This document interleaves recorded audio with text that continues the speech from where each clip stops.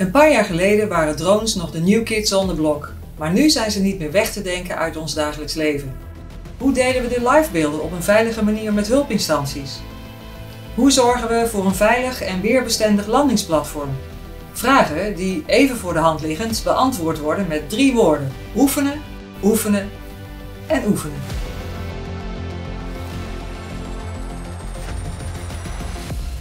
Ja, ik denk dat het een ontzettend leuke dag was vandaag.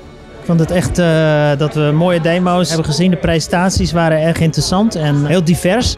We hadden al een hele mooie samenwerking met al deze partijen.